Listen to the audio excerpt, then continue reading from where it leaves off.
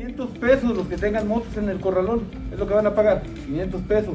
Autos 1000, ese fue el acuerdo de Cabildo. Entonces, para que aprovechen los ciudadanos que tengan carros detenidos, para que los vayan a sacar, digo, aquí no nos vamos a robar nada.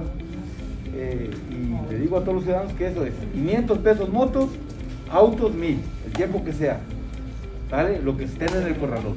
Ah, eh, digo, aprovecho para que eh, los ciudadanos comprendan pues tengan conocimiento que el Ayuntamiento de Cuautla está, trabajando a beneficio de los ciudadanos completos.